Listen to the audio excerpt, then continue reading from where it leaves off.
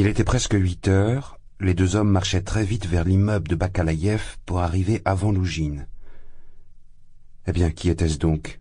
demanda Razumikin sitôt qu'ils furent sur le trottoir. C'était Svidrigailov, ce propriétaire chez qui ma sœur a été humiliée quand elle était gouvernante.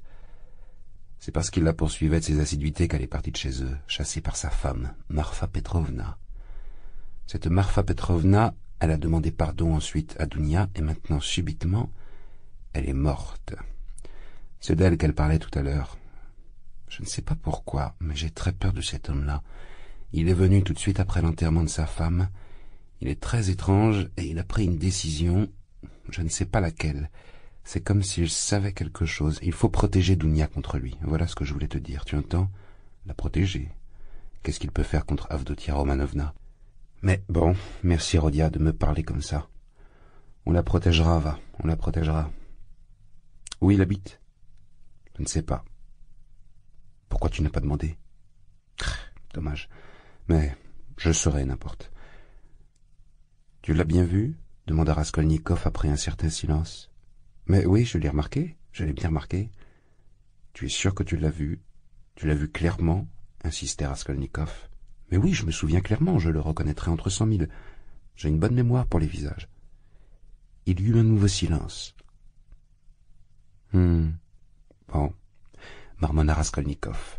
Parce que tu sais, je me disais, j'ai eu l'impression que c'était peut-être une fantaisie. Qu'est-ce que tu veux dire? Je ne te comprends pas très bien. Vous dites tous, là, poursuivit Raskolnikov, le visage fermé par un sourire, que je suis fou, et j'ai eu l'impression, là maintenant, que... Peut-être bien, c'est vrai que j'étais fou et que j'ai juste vu un spectre. Qu'est-ce qui te prend? Mais on ne sait jamais. Peut-être, c'est vrai que je suis fou.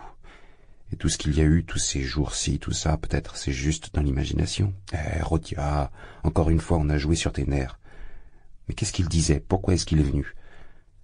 Raskolnikov ne répondit pas. Razumikin réfléchit une petite minute.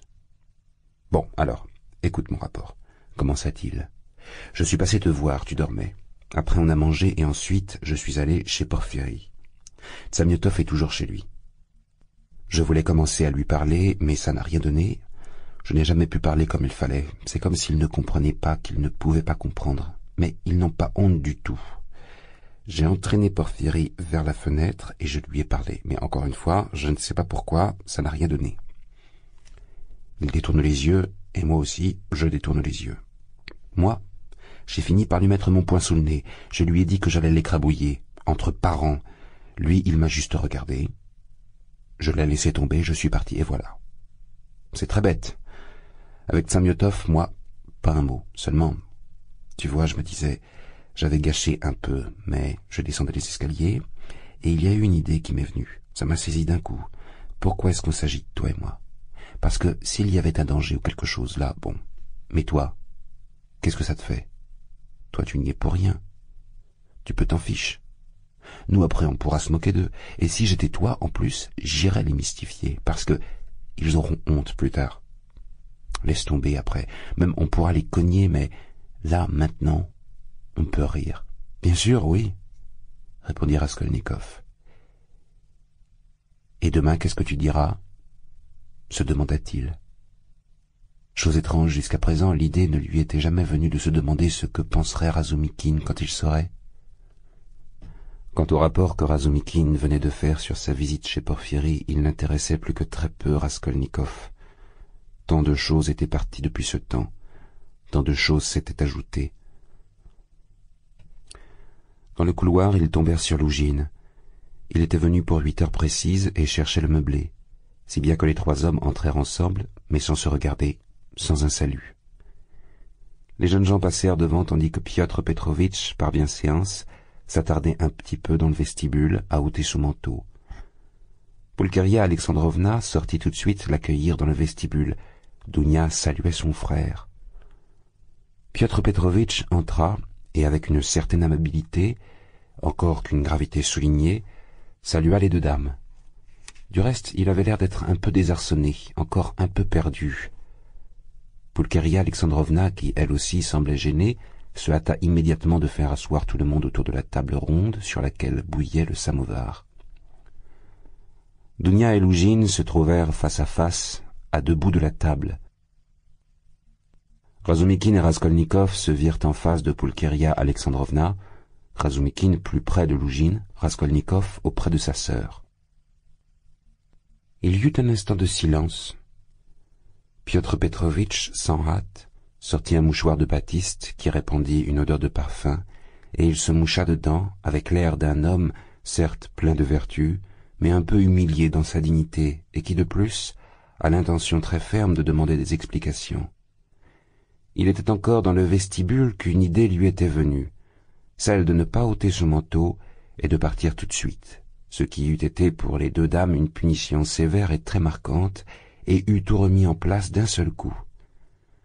Mais il n'avait pas osé.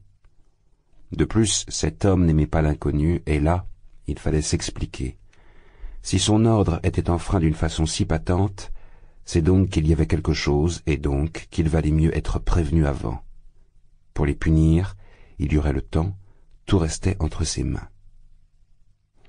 J'espère que votre voyage s'est bien passé, demanda-t-il s'adressant officiellement à Pulcheria Alexandrovna. Dieu soit loué, Piotr Petrovitch.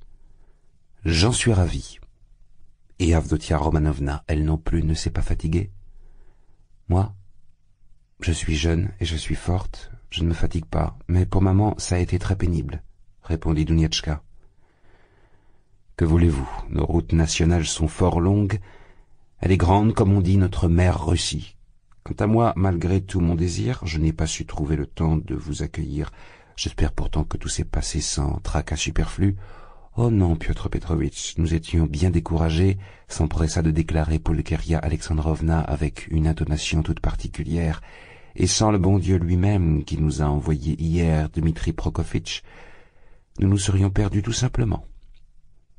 Voilà Dmitri Prokofitch Razumikin, ajouta-t-elle, le présentant à Lougine. Mais voyons, j'ai eu le plaisir. Hier, marmonna Lougine avec un regard déplaisant sur Razumikin, puis il se renfrognait et se tut. En général, Piotr Petrovitch appartenait à cette catégorie de gens qui semblent tout à fait aimables en société et qui prétendent à être aimables, mais qui, sitôt que quelque chose leur a déplu, perdent séance tenante tous leurs moyens et se mettent plutôt à ressembler à des sacs de farine plutôt qu'à des cavaliers dédiés des bouts en train de la société. Il y eut un nouveau silence. Raskolnikov se taisait obstinément. Avdotia Romanovna ne voulait pas rompre ce silence trop tôt. Razumikin n'avait aucune raison de parler, si bien que Pulcheria Alexandrovna se remit à s'agiter. Marfa Petrovna est décédée, vous saviez commença-t-elle, ayant recours à son remède capital. Bien sûr, je suis au courant, je l'ai appris à la première rumeur, et même je peux vous apprendre aujourd'hui qu'Arkady Ivanovitch Zvidrigailov, sitôt après les funérailles de son épouse, est parti précipitamment pour Pétersbourg. C'est ce que disent du moins les dernières nouvelles que j'ai reçues. À Pétersbourg? Ici? demanda Dounia avec inquiétude, et elle échangea un regard avec sa mère. Exactement, et bien sûr, il y a un but particulier, surtout si l'on prend en compte la précipitation de son départ et en général toutes les circonstances qui l'ont précédé. Mon Dieu. Mais même ici, il ne laissera donc jamais Dounietchka tranquille? s'écria Pulkeria Alexandrovna. Il me semble qu'il n'y a pas de sujet d'inquiétude particulier à avoir, ni pour vous, ni pour Avdotia Romanovna. Bien sûr, dans le cas où vous-même, vous ne souhaitez pas entrer en contact avec lui.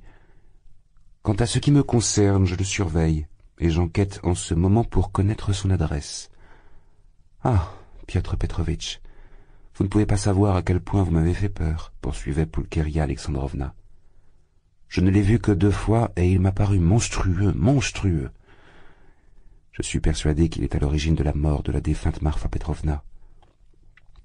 Cela, on ne peut pas l'affirmer, je ne dis pas, il a peut-être favorisé la rapidité des choses par l'influence, pour ainsi dire, morale de l'offense, mais pour ce qui touche à sa conduite et en général à la peinture morale du personnage, je suis d'accord avec vous. Je ne sais pas s'il est riche en ce moment et ce que Marfa Petrovna lui a laissé au juste. C'est une chose que je saurai dans les plus brefs délais, mais bien sûr, ici à Pétersbourg, ayant ne serait-ce qu'un petit peu de moyens financiers, il reprendra tout de suite son ancienne vie. C'est le plus débauché et le plus perdu de vices de tous les hommes qui lui sont comparables. Je dispose de quelques bases solides pour penser que Marfa Petrovna, qui a eu le malheur d'être à ce point amoureuse de lui et de racheter ses dettes voilà huit ans, lui a aussi rendu un service tout autre. C'est uniquement grâce à elle, à ses efforts et à ses sacrifices qu'elle a réussi à étouffer dans l'œuf une affaire de droit commun avec une teinte d'assassinat bestial et pour ainsi dire fantastique, assassinat pour lequel il aurait très bien, mais très bien pu faire une petite promenade en Sibérie. Voilà ce que c'est que cet homme, si vous voulez savoir. Oh mon Dieu, s'écria Pulcheria Alexandrovna.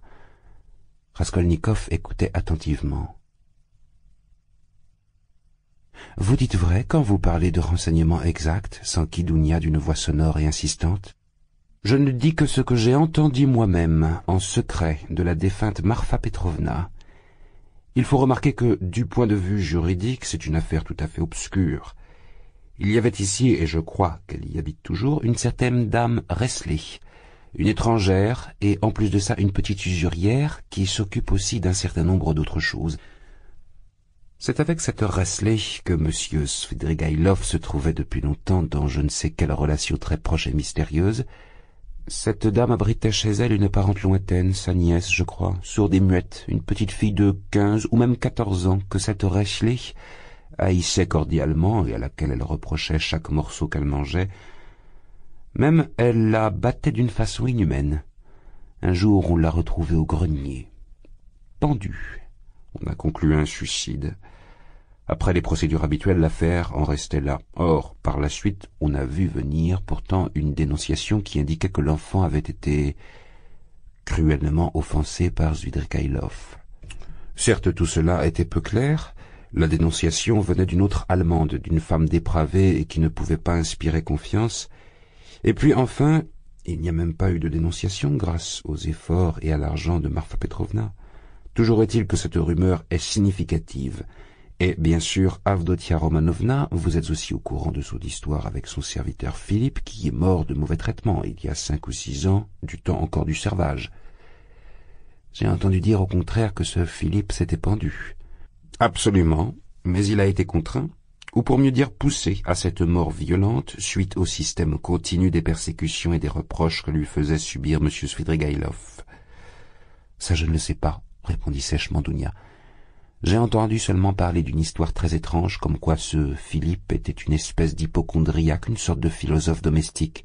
Les gens disaient qu'il avait trop lu, et que s'il s'était pendu, c'était plus à cause des moqueries que des coups de M. Svidrigailov. Devant moi, il traitait bien ses serviteurs, et même les gens l'aimaient, et pourtant, il est vrai qu'ils l'accusaient eux aussi de la mort de Philippe. Je vois, Avdotia Romanovna, que vous êtes comme soudain porté à le justifier, remarqua Lougine, la bouche déformée par un sourire ambigu.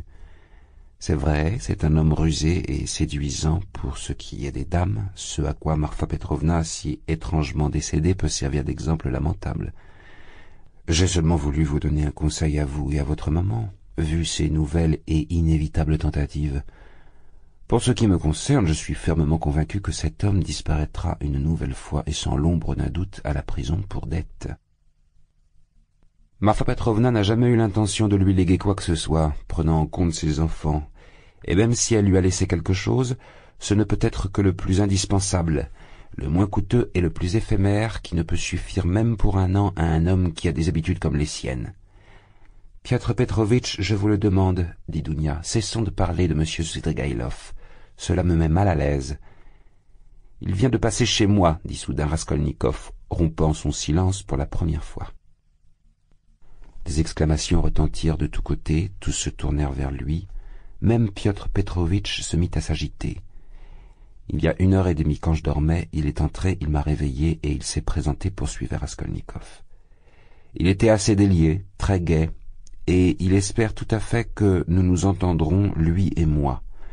À propos, il insiste beaucoup, il cherche à te rencontrer, Dounia. Il m'a demandé d'être son intermédiaire pour cette rencontre. Il a une proposition à te faire. Il m'a dit en quoi elle consistait. De plus, il m'a appris d'une façon certaine que Marfa Petrovna, une semaine avant de mourir, avait eu le temps de te laisser, Dounia, un testament, trois mille roubles, et à présent tu peux toucher cet argent dans les plus brefs délais. Dieu soit loué s'écria Pulcheria Alexandrovna, et elle se signa. Prie pour elle, Dounia, prie. C'est absolument vrai, laissa échapper Lougine. Eh bien, eh bien, et ensuite, le pressait Dounietchka. Après, il m'a dit que lui-même, il n'était pas riche, et que tout son domaine restait à ses enfants qui vivent en ce moment chez une tante. Ensuite, il a pris une chambre quelque part à côté de chez moi, mais où, je ne sais pas. Je n'ai pas demandé. Mais qu'est-ce que c'est? Qu'est-ce que c'est donc qu'il veut proposer à Dounietchka demanda terrorisée Polkeria Alexandrovna. Il te l'a dit Oui, il me l'a dit. Alors? Je le dirai plus tard.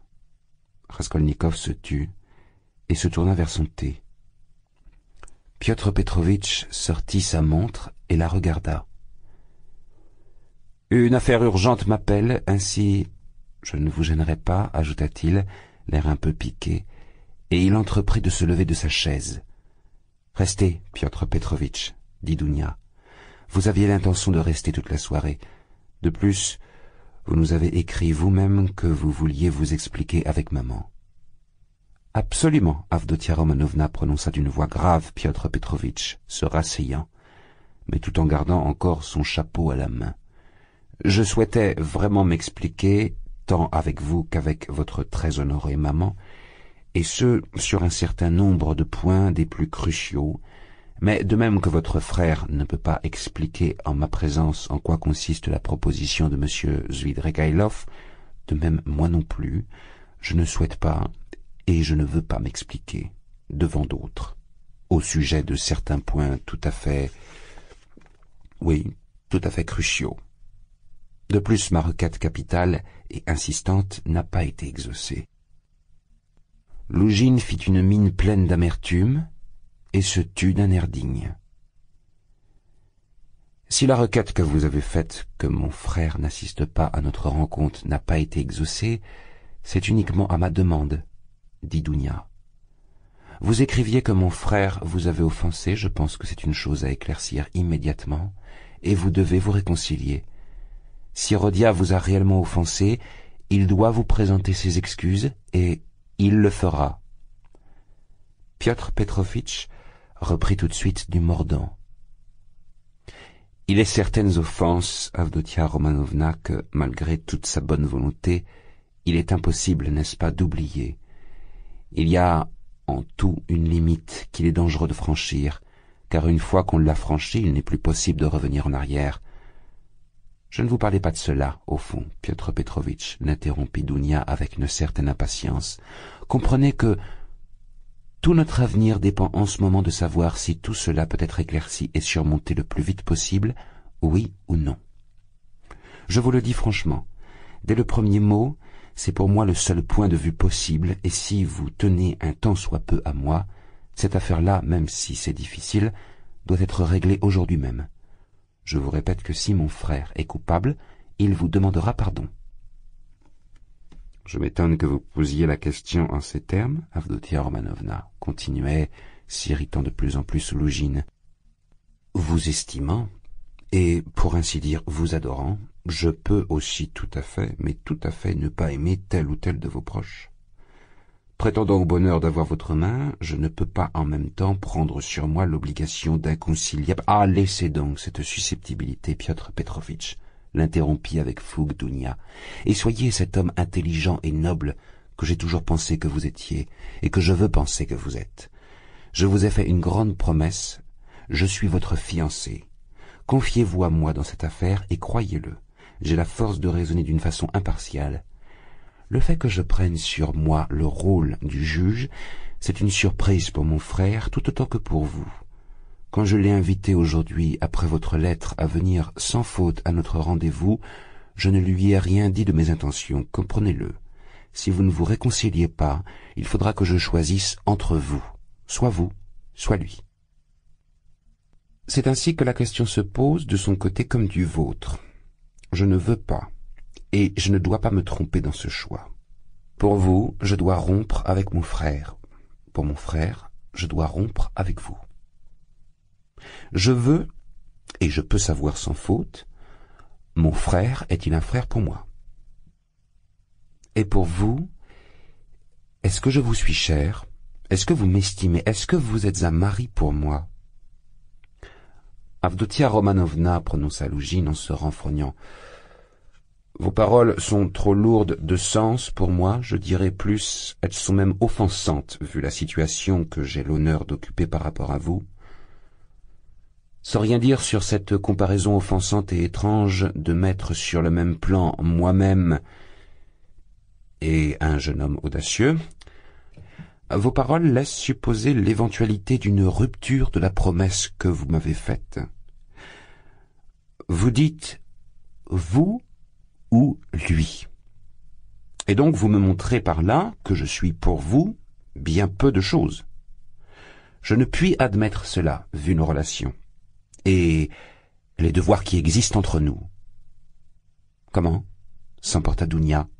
Je mets votre intérêt sur le même plan que ce que j'ai jusqu'à présent de plus cher dans la vie, ce qui jusqu'à présent a fait toute ma vie, et vous, soudain, vous vous sentez vexé de ce que je vous accorde peu de prix.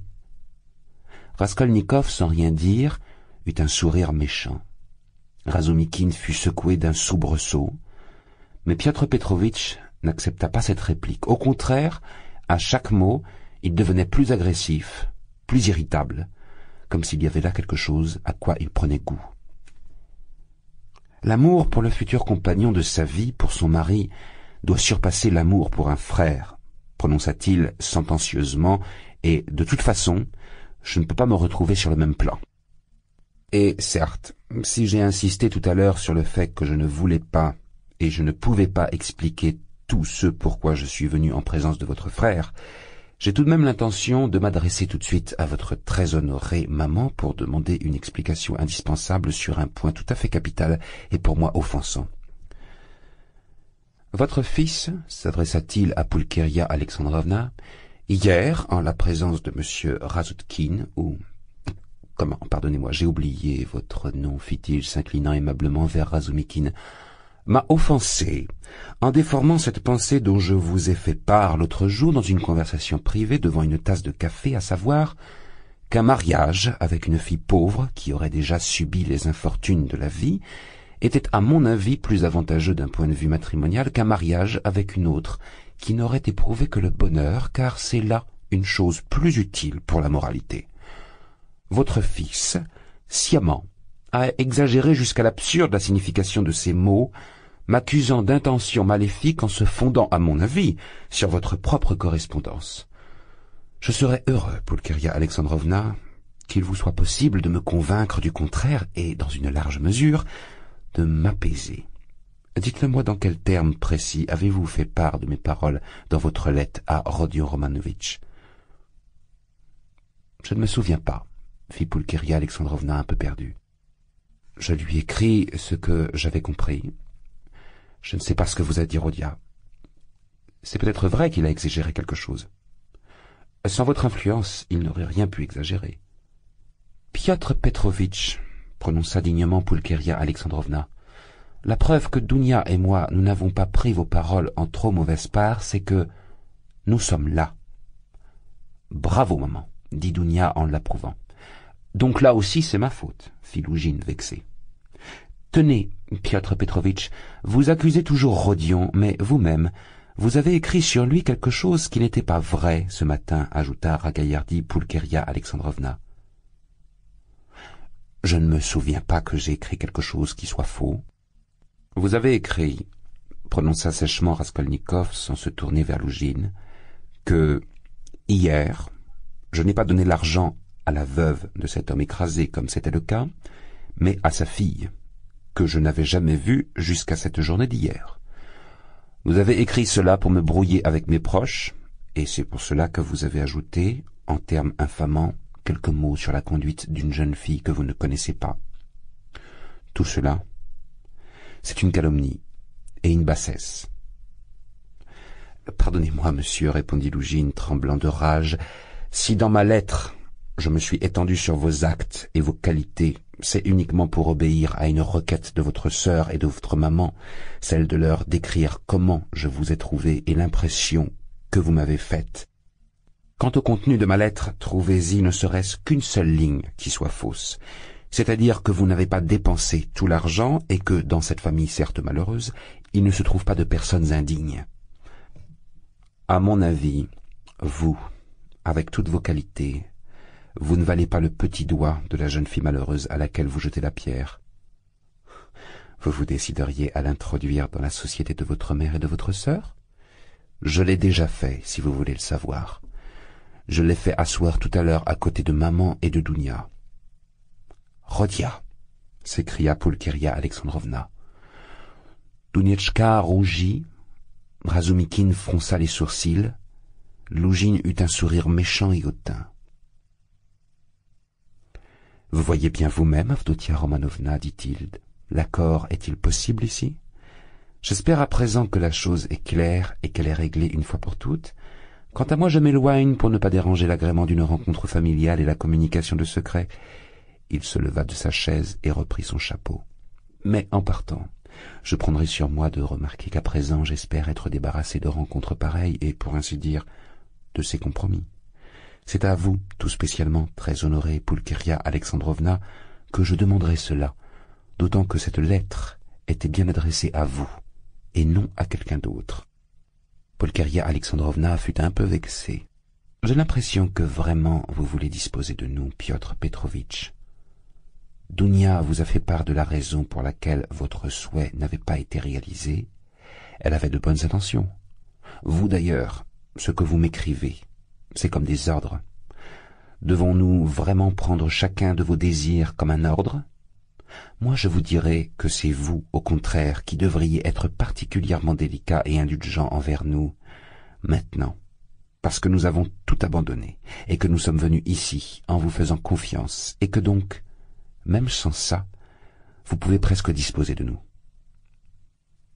Ce n'est pas tout à fait juste, Pulcheria Alexandrovna, surtout dans le moment présent quand on apprend les trois mille roubles légués par Mafar Petrovna, un legs qui, semble-t-il, tombe vraiment à point, à en juger par le ton nouveau sur lequel vous me parlez, ajouta-t-il avec une moquerie méchante.